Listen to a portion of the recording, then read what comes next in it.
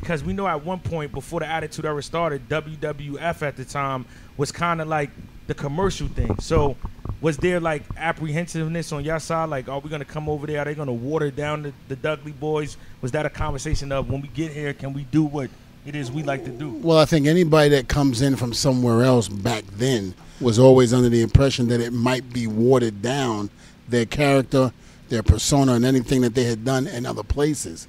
Was it a fear? Absolutely. Bubba first came, we had already been done with the stuttering, me smacking Bubba in the back of the head. And uh, the minute we came into WWE, that was the first thing Vince wanted us to do. He found that to be entertaining. He didn't want the Dudleys of the present at that time. He wanted the old school Dudleys with the Bubba stuttering and me smacking him in the back of the head. Bubba hated it. He didn't want to go back to that because after you go from that to being a hardcore Dudleys in ECW, it's hard to go back to the babyface stuttering, you know, Bubba Ray Dudley. He didn't like it. He hated it. And um, I remember the first time uh, we got the opportunity to work with the Hardys in the tables match. That was what really set everything for us at Madison Square Garden. And I mean, it was a great time during that time. No one had really seen it on that level. You got to understand, ECW was seen by a lot of people, but their their their market was very small compared to the huge market that the WWF um, had. And at that point in time, if you think about it, only one percent, maybe two percent of the WWE fans knew who we were. It wasn't until we became a name in WWF is when they decided they knew who we were. But it was also at that point when it, when that tables match came, we showed the company the Dudley boys can do more than stuttering and me smacking Bubba in the back of the head. Absolutely, absolutely. You got you got a question for me? Yeah, well, actually, you had brought up the tables match thing. I wanted to know how that formed, how that became your signature. Was it something natural that, or was it someone had an idea like, "Hey, you guys can bring tables"? No, it was it was Vince's idea to put Terri Runnels at first to a table. We had the table match with the Hardys at Madison Square Garden. I believe it was in 2000, and then at Monday Night Raw, he goes, "You guys are gonna we're gonna make your heels, and we're gonna put uh, Terry through a table in Philadelphia." And I remember me and Bubba looked at him and goes, "Vince, that's not gonna work." Why is that? Well, Vince, uh, society is sick right now, and number one, you're doing it in Philadelphia, and Philadelphia is where the Dudley Boys were made, born, and raised. And to put a woman through a table, they're not going to boo; they're going to cheer. So, and he was like, "Oh, nonsense! Don't worry, it'll work."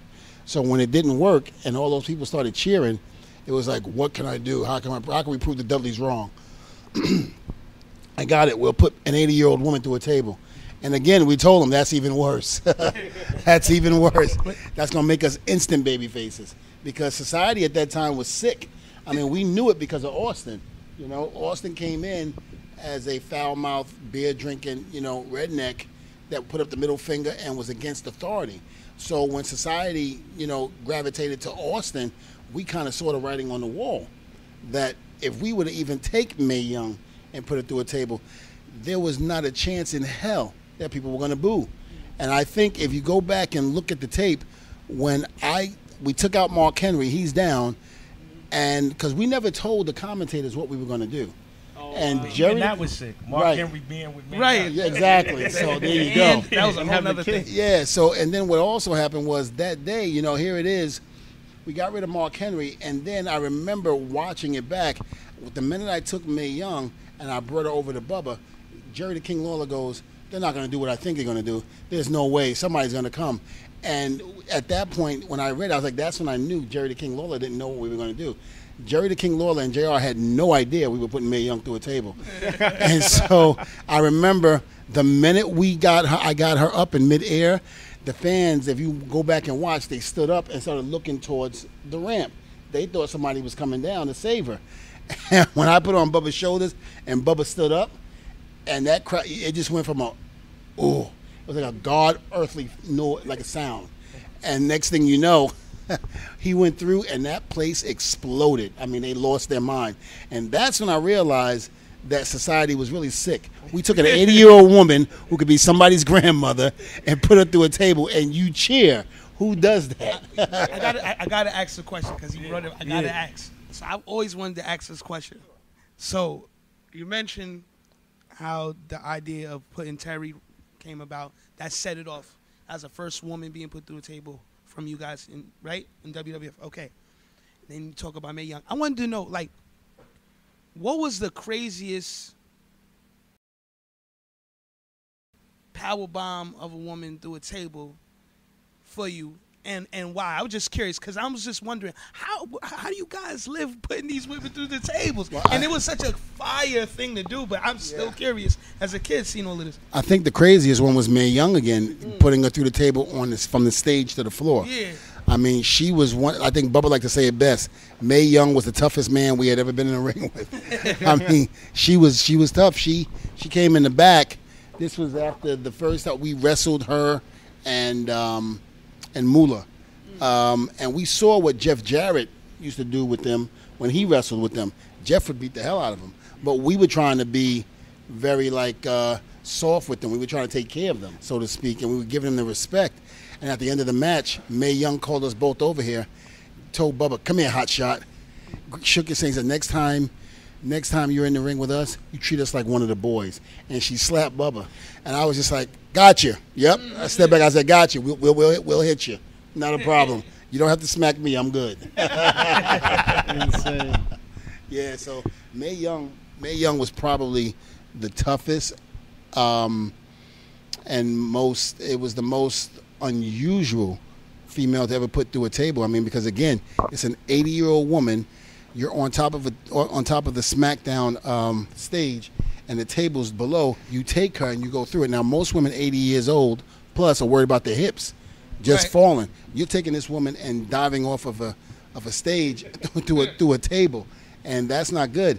And then she came to us after that was over. She goes, "I want to talk to Vince and ask Vince if we can do a steel cage match where you take me, bring me onto the top, and put us through a table off the cage."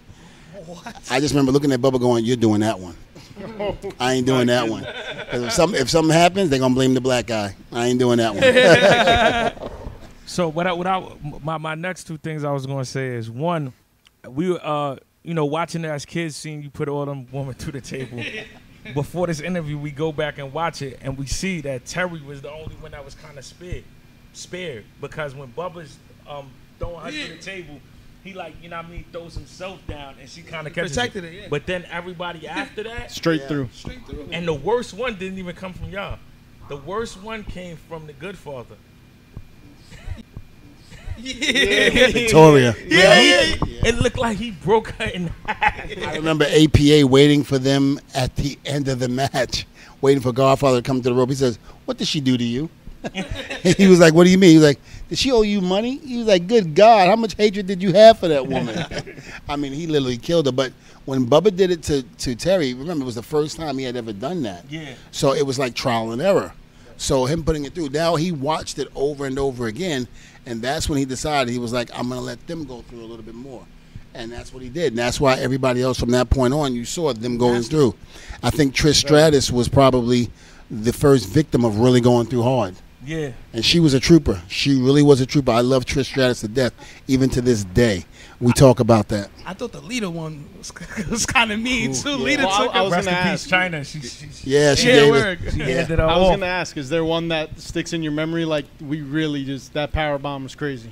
I I think it, it would have to be Trish. I mean, if you see the, the velocity impact of her going through that table, good God, there was no protection whatsoever. None.